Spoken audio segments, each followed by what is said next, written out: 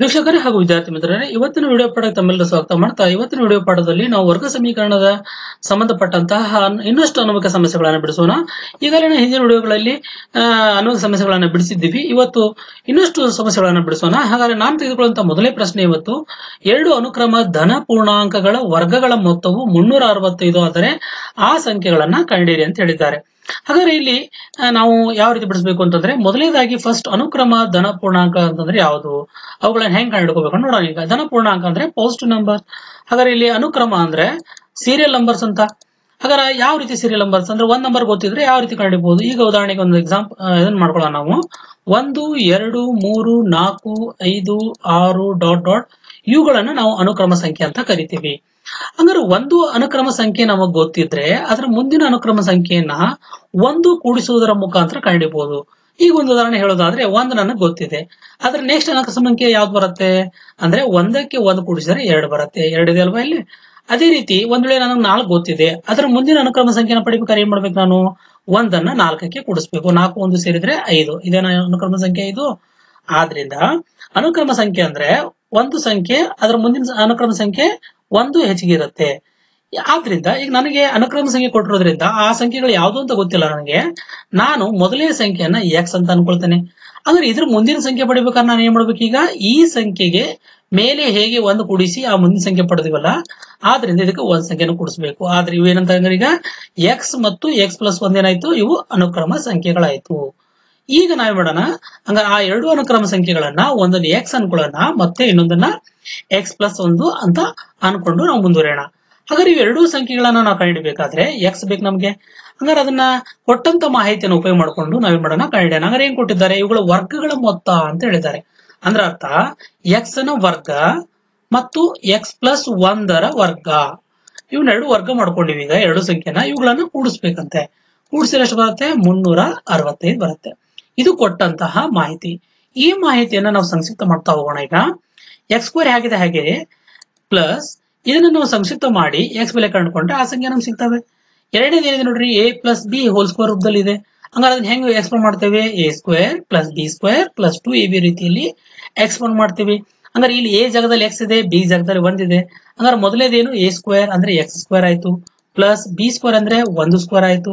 ಅಂದ್ರೆ ಒಂದು ಸ್ಕ್ವೇರ್ ಅಂದ್ರೆ ಒಂದು. Plus two A B two into A ಅಂದ್ರೆ ಎಕ್ಸ್ ಬಿ ಅಂದ್ರೆ ಒಂದು ಅಂದ್ರೆ ಎರಡು ಎರಡೇ ನಾಲ್ಕು ಸಾರಿ ಎರಡು ಇಂಟು ಎಕ್ಸ್ ಇಂಟು ಒಂದು ಅಂದ್ರೆ ಎರಡು ಎಕ್ಸ್ ಆಯ್ತು ಈಕ್ವಲ್ ಟು ಮೂರ್ನೂರ ಅರವತ್ತೈದು ಆಯ್ತು. ಈಗ X square into X square ಅಂದ್ರೆ ಕೂಡಿಸಿದ್ರೆ ಟೂ ಎಕ್ಸ್ ಸ್ಕ್ವೇರ್ ಆಯ್ತು. ಆಮೇಲೆ ಪ್ಲಸ್ ಟು ಎಕ್ಸ್ ಈಗ ನಮ್ಗೆ ಎಳಿಗೆ ಕ್ರಮದಲ್ಲಿ ಬರಬೇಕು. ಅದರಿಂದ ಟೂ ಎಕ್ಸ್ ಆಮೇಲೆ ಪ್ಲಸ್ ಒಂದು ಈ ಮುನ್ನೂರ ಅರವತ್ತೈದನ ಒಳಗೆ ತಗೊಂಡ್ಬಿಟ್ರೆ ಮೈನಸ್ ಮುನ್ನೂರ ಅರವತ್ತೈದು ಈಕ್ವಲ್ ಟು ಜೀರೋ ಈಗ two X square plus two X ಆಮೇಲೆ ಮುನ್ನೂರ ಅರವತ್ತೈದರಲ್ಲಿ ಒಂದು ಕಳೆದ್ರೆ ಮೈನಸ್ ಮುನ್ನೂರ ಅರವತ್ತೈದು ಈಕ್ವಲ್ ಅರವತ್ನಾಲ್ಕು ಈಕ್ವಲ್ ಟು ಝೀರೋ ಯಾಕಂದ್ರೆ ಇಲ್ಲಿ ಪ್ಲಸ್ ಮೈನಸ್ ಅಂದ್ರೆ ಕಳಿಬೇಕು ಮುನ್ನೂರ ಅರವತ್ತೈದರ ಒಂದು ಹೋದ್ರೆ ಮುನ್ನೂರ ಅರವತ್ನಾಲ್ಕು ಬರುತ್ತೆ. ಈಗ ಇವೆರಡರಲ್ಲಿ ಎರಡು ಕಾಮನ್ ಆಗಿದೆ. ಆದ್ರಿಂದ ಏನ್ ಮಾಡ್ತಾನೆ? ಎರಡೂ ಕಡೆ ಎರಡನ್ನ ಭಾಗಿಸ್ತಾನೆ. ಅಂದ್ರೆ ಎಲ್ ಎಚ್ ಎಸ್ ಎರಡನ್ನ ಭಾಗಿಸ್ತಾನೆ ಆರ್ ಎಚ್ ಎಸ್ ಎರಡನ್ನ ಭಾಗಿಸ್ತಾನೆ. ಇಲ್ಲಿ ಎರಡು ಒಂದ್ಲೆ ಎರಡು ಆಯ್ತು. ಎಸ್ ಸ್ಕ್ವೇರ್ ಉಳಿತು ಬರೇ. ಪ್ಲಸ್ ಎರಡು ಎರಡು ಅಂದ್ರೆ ಎಕ್ಸ್ ಉಳಿತು. ಮೈನಸ್ ಇದು ಎರಡು, ಒಂದ್ಲಿ ಎರಡು ಒಂದ್ ಉಳಿತು ಹದಿನೆಂಟು ಆಯ್ತು, ಹದಿನಾರು ಆಯ್ತು, ಎರಡೆಂಟ್ಲೆ ಹದಿನಾರು, ಎರಡ್ಲೆ ನಾಲ್ಕು, ಅಂದ್ರೆ ಉತ್ತರ ಒಂದೂರ ಎಂಬತ್ತೆರಡು ಬಂತು ಈಕ್ವಲ್ ಟು ಜೀರೋ ಈಗ ನಮ್ಮ ಸಮೀಕರಣ ಆದರ್ಶ ರೂಪದಲ್ಲಿ ಬಂತು. ಈಗ ನಿಮಗೆ ಗೊತ್ತಿರುವಂತಹ ಯಾವ್ದಾದ್ರು ಒಂದು ವಿಧಾನದಿಂದ ಮಾಡಿ ಈ ಸಮೀಕರಣ ಬಿಡಿಸಿ. ಹಂಗಾರೆ ನಾನ್ ಮಾಡೋಣ ಈಗ? ಸೂತ್ರ ಸಹಾಯದಿಂದ ಬಳಸ್ತೇನೆ ಯಾಕೆ ಹಿಂದಿನ ವಿಧಾನಗಳಲ್ಲಿ ನಾವೇನ್ ಮಾಡೀವಿ ಈಗ? ಅಪರ್ತನ ಬೆಳೆಸಿದ್ವಿ. ಇಲ್ಲಿ ಸ್ವಲ್ಪ ಏನ್ ಮಾಡೋಣ? ಸೂತ್ರ ಸಹಾಯದಿಂದ ಮಾಡೋಣ. ಹಂಗಾರೆ ಎ ಬೆಲೆ ಏನಾಯ್ತು ಒಂದು ಬಿ ಬೆಲೆ ಒಂದು ಸಿ ಬೆಲೆ ಮೈನಸ್ ನೂರ ಎಂಬತ್ತೆರಡು ಆಯ್ತು. ಸೂತ್ರ ಏನು? X equal to minus B plus or minus square root of B square minus four A C divided by two A ಆಯಿತು. ಈಗ ಇದರಲ್ಲಿ ನಾವು ಬೆಲೆಗಳನ್ನ ಆದೇಶ ಮಾಡೋಣ. X equal to minus B B ಅಂದ್ರೆ ಒಂದಿದೆ ಮೈನಸ್ ಒಂದು plus or minus square root of B square ಅಂದ್ರೆ ಏನು? ಒಂದು ಸ್ಕ್ವೇರ್ ಆಮೇಲೆ ಮೈನಸ್ ನಾಲ್ಕು ಇಂಟು ಎ ಇಂಟು ಅಂದ್ರೆ ಎ ಅಂದ್ರೆ ಒಂದು ಸಿ ಅಂದ್ರೆ ಮೈನಸ್ ನೂರ ಎಂಬತ್ತೆರಡು. ಡಿವೈಡೆಡ್ ಬೈ ಟೂ ಇಂಟು ಒಂದು ಎ ಅಂದ್ರೆ ಒಂದಿದೆ. ಈಗ ಇದನ್ನ ಸಂಕ್ಷಿಪ್ತ ಮಾಡೋಣ. ಎಕ್ಸ್ ಇಕ್ವಲ್ ಟು ಮೈನಸ್ ಒಂದು plus or minus square root of ಒಂದರ ವರ್ಗ ಒಂದು ಮೈನಸ್ ಇಂಟು ಮೈನಸ್ ಪ್ಲಸ್ ನಾಲ್ಕು ಒಂದ್ಲಿ ನಾಲ್ಕು ಇಂಟು ನೂರ ಎಂಬತ್ತೆರಡು ಮಾಡಿದ್ರೆ ಏಳ್ನೂರ ಇಪ್ಪತ್ತೆಂಟು ಬರುತ್ತೆ. ಡಿವೈಡೆಡ್ ಬೈ ಎರಡು ಒಂದ್ಲೆ ಎರಡು. ಎಕ್ಸ್ ಇಕ್ವಲ್ ಟು ಇನ್ನು ಸಂಕ್ಷಿಪ್ತ ಮಾಡೋಣ. ಮೈನಸ್ ಒಂದು plus or minus square root of ಏಳ್ನೂರ ಇಪ್ಪತ್ತೊಂಬತ್ತಾಯ್ತು. ಯಾಕಂದ್ರೆ ಏಳ್ನೂರ ಇಪ್ಪತ್ತೆಂಟು ಪ್ಲಸ್ ಒಂದು ಅಂದ್ರೆ ಏಳ್ನೂರ ಇಪ್ಪತ್ತೊಂಬತ್ತಾಯ್ತು. ಡಿವೈಡೆಡ್ ಬೈ ಟು ಈಗ ಎಕ್ಸ್ ಇಕ್ವಲ್ ಟು ಮೈನಸ್ ಒಂದು ಪ್ಲಸ್ ಆರ್ ಮೈನಸ್ ಏಳ್ನೂರ ಇಪ್ಪತ್ತೊಂಬತ್ತರ ವರ್ಗಮೂಲ ಇಪ್ಪತ್ತೇಳು ಡಿವೈಡೆಡ್ ಬೈ ಈಗ ಎರಡು ಮೂಲಗಳನ್ನ ಈಗ ಏನ್ ಮಾಡೋಣ? ಸಪರೇಟ್ ಮಾಡೋಣ. ಆದ್ರಿಂದ ಎಕ್ಸ್ ಇಕ್ವಲ್ ಏನಾಯ್ತು?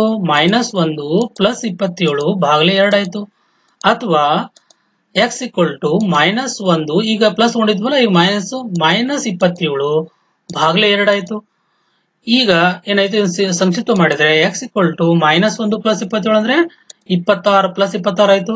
ಈಗ ದೊಡ್ಡ ಗೆಚ್ಚನೆ ಪ್ಲಸ್ ಇದೆ. ಭಾಗ್ಲೆ ಎರಡು. ಆದ್ರಿಂದ ಎಕ್ಸ್ ಇಕ್ವಲ್ ಟು ಎಷ್ಟಾಯ್ತು? ಎರಡು ಒಂದ್ಲೆ ಎರಡು ಹದಿಮೂರ್ಲೆ ಆದ್ರಿಂದ ಮೊದಲೇ ಮೂಲ ಎಷ್ಟಾಯ್ತು? ಹದಿಮೂರು. ಇನ್ನು ಎಕ್ಸ್ ಇಕ್ವಲ್ ಟು ಎರಡು ಮೈನಸ್ ಅಂದ್ರೆ ಮೈನಸ್ ಇಪ್ಪತ್ತಾರು, ಇಪ್ಪತ್ತೆಂಟು, ಬಾಗ್ಲೆ ಎರಡಾಯ್ತು. ಎಕ್ಸ್ ಇಕ್ವಲ್ ಟು ಮೈನಸ್ ಹದಿನಾಲ್ಕು.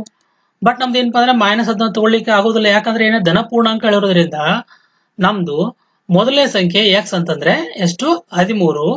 ಅದರ ಮುಂದಿನ ಸಂಖ್ಯೆ ಅಂದ್ರೆ ಹದಿನಾಲ್ಕು. ಆದ್ರಿಂದ ಎರಡು ಸಂಖ್ಯೆಗಳು ಯಾವುದು ಅಂತಂದ್ರೆ ಹದಿಮೂರು ಮತ್ತು ಹದಿನಾಲ್ಕು. ಈಗ ನಾವು ಇನ್ನೊಂದು ಸಮಸ್ಯೆಯನ್ನ ಚರ್ಚೆ ಮಾಡೋಣ. ಹಾಗಾದ್ರೆ ಈ ಸಮಸ್ಯೆ ಇರೋದು ಲಂಬಕೋನ ತ್ರಿಭುಜದ ಮೇಲೆ. ಹಂಗ ಸಮಸ್ಯೆ ಏನಿದೆ ಅಂತ ಒಂದ್ಸಲ ನೋಡ್ಬಿಡೋಣ. ಒಂದು ಲಂಬಕೋನ ತ್ರಿಭುಜದ ಎತ್ತರವು ಪಾದಕ್ಕಿಂತ ಏಳು ಸೆಂಟಿಮೀಟರ್ ಕಡಿಮೆ ಇದೆ. ಅದರ ವಿಕರ್ಣದ ಉದ್ದವು ಹದಿಮೂರು ಸೆಂಟಿಮೀಟರ್ ಆದರೆ ಉಳಿದೆರಡು ಬಾಹುಗಳನ್ನ ಕಂಡಿರಿ ಅಂತ ಹೇಳಿದ್ದಾರೆ. ಹಾಗಾದ್ರೆ ನಾವು ಏನ್ ಮಾಡೋಣ ಈಗ ಇದನ್ನ ಒಂದು, ಆ, ಮೂರ್ತ ರೂಪದಲ್ಲಿ ತರಲಿಕ್ಕೆ ಪ್ರಯತ್ನ ಮಾಡೋಣ. ಹಾಗಾದ್ರೆ ಅವ್ರು ಲಂಬಕೋನ ತ್ರಿಭುಜ ಅಂತ ಹೇಳಿರೋದ್ರಿಂದ ಅದನ್ನ ನಾವೇನ್ ಮಾಡ್ತೀವಿ? ಒಂದು ಲಂಬಕೋನ ತ್ರಿಭುಜ ಚಿತ್ರ ಹಾಕೊಳ್ತೇನೆ. ಈಗ ಅವ್ರು ಕೊಟ್ಟಂತ ಮಾಹಿತಿಯನ್ನು ಒಂದೊಂದು ಓದಿ ವಿಶ್ಲೇಷಣೆ ಮಾಡ್ಕೊಳ್ಳೋಣ. ಅವ್ರು ಏನ್ ಹೇಳಾರಂಗಾರ ಈಗ? ಪಾದ ಇದೆಯಲ್ಲ ಇದು ಪಾದ ಎಷ್ಟಿದೆ? ಅದಕ್ಕಿಂತ ಏಳು ಸೆಂಟಿಮೀಟರ್ ಕರ್ಣ ಕಡಿಮೆ ಇದೆ. ಇದ, ಅದು ಎತ್ತರ ಕಡಿಮೆ ಇದೆ. ಅಂದ್ರೆ ಅರ್ಥ, ಪಾದ ಗೊತ್ತಾದ್ರೆ ಎತ್ತರ ಗೊತ್ತಾಗತ್ತೆ. ಒಂದ್ ವೇಳೆ ಪಾದ ಹತ್ತಿದ್ರೆ ಏಳು ಕಡಿಮೆ ಅಂದ್ರೆ ಮೂರು ಸೆಂಟಿಮೀಟರ್ ಆಗತ್ತೆ. ಈಗ ಎತ್ತರ ಡಿಪೆಂಡ್ ಆಗಿರೋದು ಪಾದದ ಮೇಲೆ ಆದ್ರಿಂದ ನಾವೇನ್ ಮಾಡೋಣ? ಪಾದವನ್ನ ಎಕ್ಸ್ ಅಂತ ತಗೊಂಡ್ಬಿಡೋಣ. ಇದನ್ನ ವೇರಿಯಬಲ್ ಎಕ್ಸ್ ಅಂತ ತಗೊಂಡ್ಬಿಡೋಣ. ಈಗ ಏನಾಯ್ತು ಹಂಗಾರೆ? ಎತ್ತರ ಅದಕ್ಕಿಂತ ಏಳು ಕಡಿಮೆ ಇರೋದ್ರಿಂದ ಎತ್ತರ ಏನಾಯ್ತು? ಎಕ್ಸ್ ಮೈನಸ್ ಏಳು ಸೆಂಟಿಮೀಟರ್ ಆಯ್ತು. ಇನ್ನ ವಿಕರ್ಣ ಎಷ್ಟು ಕೊಟ್ಟಿದ್ದಾರೆ? ಹದಿಮೂರು ಕೊಟ್ಟಾರ. ಈಗ ನಮಗೆ ಲಂಬಕೋನ್ ತ್ರಿಭುಜದಲ್ಲಿ ಮೂರು ಬಾಹುಗಳು ಗೊತ್ತಾಯ್ತು. ಈಗ ನಾವೇನ್ ಮಾಡೋಣ? ಇದಕ್ಕೆ ಪೈಥಾಗೋರಸ್ ಥಿಯರಮ್ ಹಚ್ಚಿ ಎಕ್ಸ್ನ ಬೆಲೆಯನ್ನ ಕಂಡಿಡಿಯೋಣ ಪೈಥಾಗೋರಸ್ ಥಿಯರಮ್ ಏನ್ ಹೇಳುತ್ತೆ? ವಿಕರ್ಣದ ಮೇಲಿನ ವರ್ಗ ಉಳಿದೆರಡು ಬಾಹುಗಳ ಮೇಲಿನ ವರ್ಗಗಳ ಮೊತ್ತಕ್ಕೆ ಸಮ ಅಂತ ಹೇಳುತ್ತೆ. ಆದ್ರಿಂದ ನಾವ್ ಹೀಗೆ ಬರಿಬಹುದಾಗಿದನ ಏನು? X square plus X minus ಏಳು ಹೋಲ್ ಸ್ಕ್ವೇರ್ ಈಕ್ವಲ್ ಟು ಹದಿಮೂರು ಸ್ಕ್ವೇರ್ ನಾನೇನ್ ಮಾಡಿದೆ? ಅದನ್ನ reverse order theorem reverse order ಬರ್ದೇನೆ ಅಷ್ಟೇ. ಈಗ ಏನಾಯ್ತು ಎಕ್ಸ್ ಸ್ಕ್ವೇರ್ ಹೆಂಗೈತೆ ಹಂಗೆ ಸಂಕ್ಷಿಪ್ತ ಮಾಡ್ಬೇಕು ಈಗ ಇದನ್ನ ನಾವು.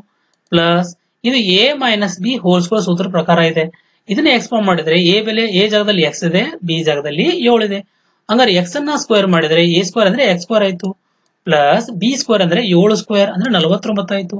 Minus two A B two into X into ಏಳು. ಅಂದ್ರೆ ಮೈನಸ್ ಹದಿನಾಲ್ಕು ಎಕ್ಸ್ ಈಕ್ವಲ್ ಟು ಒಂದೂರ ಅರವತ್ತೊಂಬತ್ತು ಆಯ್ತು. ಇದನ್ನ ಸಂಕ್ಷಿಪ್ತ ಮಾಡಿದ್ರೆ ಎರಡು ಎಕ್ಸ್ ಸ್ಕ್ವೇರ್ ಮೈನಸ್ ಹದಿನಾಲ್ಕು ಎಕ್ಸ್ ಪ್ಲಸ್ ನಲವತ್ತೊಂಬತ್ತು ಮೈನ್ ನೂರ ಅರವತ್ತೊಂಬತ್ತನ್ನ ಒಳಗಡೆ ತಗೊಂಬಂದ್ರೆ ಮೈನಸ್ ಒಂದೂರ ಅರವತ್ತೊಂಬತ್ತು ಆಯ್ತು. ಈಕ್ವಲ್ ಟು ಝೀರೋ ಈಗ ನಾವೇ ಮಾಡೋಣ? ಮತ್ತೆ ಇದನ್ನ ಈ ಕೆಳಗಿನ ಸಮೀಕರಣವನ್ನ ಮತ್ತೊಮ್ಮೆ ಸಿಂಪ್ಲಿಫಿಕೇಶನ್ ಮಾಡೋಣ. ಏನಾಗತ್ತೆ ಅವಾಗ? ಟೂ ಎಕ್ಸ್ ಸ್ಕ್ವೇರ್ ಮೈನಸ್ ಹದಿನಾಲ್ಕು ಎಕ್ಸ್ ಹೆಂಗತಂಗ ಇರಲಿ ಒಂದೂರ ಪ್ಲಸ್ ಮತ್ತು ಮೈನಸ್ ಅಂದ್ರೆ ಕಳಿಬೇಕು. ಒಂದೂರ ಅರವತ್ತೊಂಬತ್ತರಲ್ಲಿ ನಲವತ್ತೊಂಬತ್ತು ಅಂದ್ರೆ ಒಂದೂರ ಇಪ್ಪತ್ತು ದೊಡ್ಡಂಕಿ ಚಿಹ್ನೆ ಮೈನಸ್ ನೂರ ಇಪ್ಪತ್ತು ಈಕ್ವಲ್ ಟು ಝೀರೋ ಈಗ ಇದು ಒಂದು ಏನಪ್ಪಾ ಅಂದ್ರೆ ಆದರ್ಶದಲ್ಲೇ ಬಂತು. ಈಗ ಇದರಲ್ಲಿ ಎಲ್ಲದರಲ್ಲಿ ಎರಡು ಕಾಮನ್ ಇದೆ. ಎರಡನ್ನೇ ಮಾಡೋಣ. ಎರಡೂ ಬದಿಗಳಲ್ಲಿ ಎರಡರಿಂದ ಭಾಗಿಸೋಣ.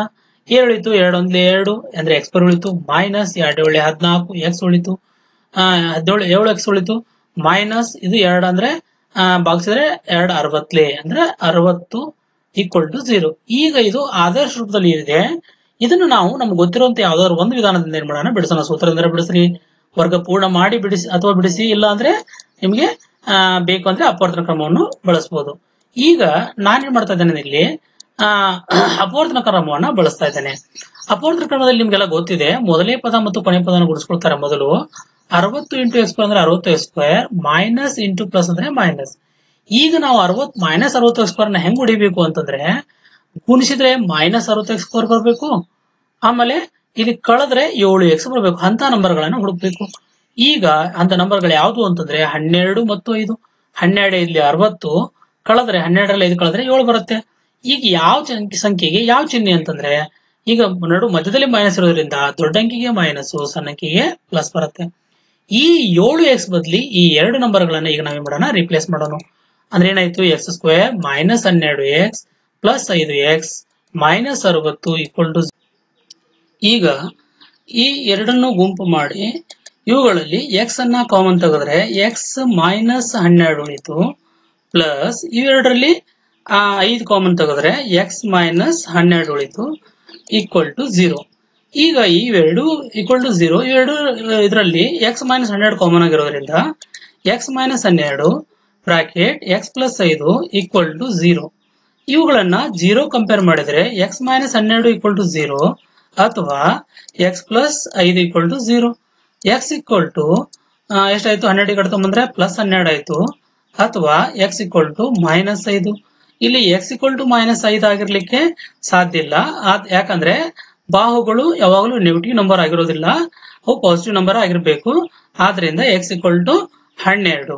ಅಂದ್ರೆ ಎಕ್ಸ್ ಅಂದ್ರೆ ಏನ್ ಇಟ್ಕೊಂಡಿದ್ದೀವಿ ನಾವೀಗ? ಎಕ್ಸ್ ಅಂತಂದ್ರೆ ನಮ್ದು ಅದು ಪಾದವನ್ನ ಇಟ್ಕೊಂಡಿದ್ದೀವಿ. ಪಾದ ಅಂತಂದ್ರೆ ಎಷ್ಟಾಯ್ತಂಗ ಈಗ ಹನ್ನೆರಡು ಸೆಂಟಿಮೀಟರ್ ಆಯ್ತು. ಮತ್ತೆ ಎತ್ತರ ಅಂತಂದ್ರೆ ಅದಕ್ಕಿಂತ ಏಳು ಕಡಿಮೆ ಅಂದ್ರೆ ಐದು ಸೆಂಟಿಮೀಟರ್ ಆಯ್ತು. ಹನ್ನೆರಡು ಮೈನಸ್ ಏಳು ಅಂದ್ರೆ ಐದು ಸೆಂಟಿಮೀಟರ್ ಆಯ್ತು. ಈ ರೀತಿ ಏನಪ್ಪಾ ಅಂದ್ರೆ ಇದರ ಎತ್ತರ ಮತ್ತು ಪಾದಗಳನ್ನ ನಾವು ಕಂಡುಹಿಡಿಯಬೇಕು ಈ ಇದು ತಮ್ಮೆಲ್ಲರಿಗೂ ಅರ್ಥ ಆಯ್ತು ಅಂತ ಅನ್ಕೊಂಡಿದ್ದೇನೆ. ಈ ವಿಡಿಯೋ ನಿಮ್ಗೆ ಇಷ್ಟ ಆಗಿದ್ರೆ ಸಬ್ಸ್ಕ್ರೈಬ್ ನನ್ನ ಚಾನಲ್ ಹೊಸಬರಾಗಿದ್ರೆ ಸಬ್ಸ್ಕ್ರೈಬ್ ಮಾಡಿ, ಮತ್ತೆ ಶೇರ್ ಮಾಡಿ, ಮತ್ತೆ ಲೈಕ್ ಮಾಡಿ